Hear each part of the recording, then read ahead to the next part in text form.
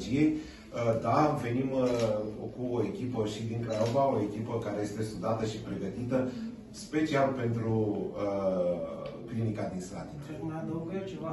Orice pacient care se adresează clinicii de embrionici, că e Slatina, că e Caraca, că e Băilești, că e Craiova, este un pacient al clinicilor de embrionici. Adică noi facem un,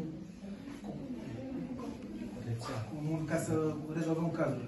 Adică nu e numai pacientul de la Slatina, doctorul de la Slatina se ocupă de nu, Toți doctorii noi avem un bord care discutăm toate cazurile complexe și venim cu rezolvarea. Mulțumesc.